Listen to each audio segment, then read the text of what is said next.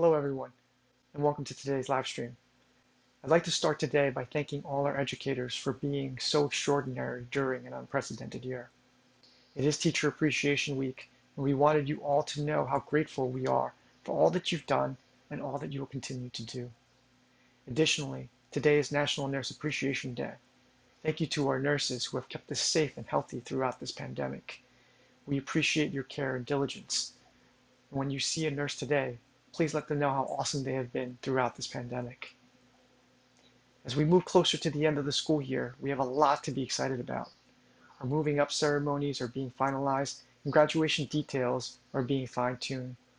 Please be on the lookout for additional details in regards to each individual school as they should be coming out shortly.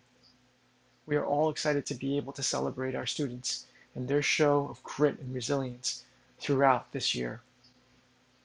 I also wanted to take this time to remind everyone to support our budget on May 18th.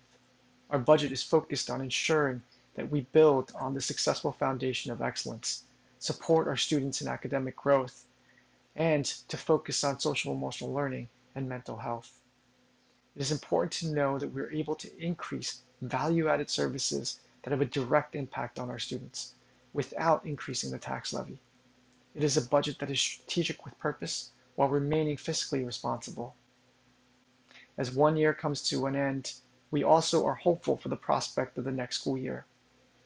As we approach a return to normalcy, we as a district are excited about the future of education here at RVC. As always, we are focused on our students, on the continued growth and development of our staff, and not only sustaining, but extending and expanding our level of excellence to allow for a well-rounded and well-balanced experience for all our students. That is all for today.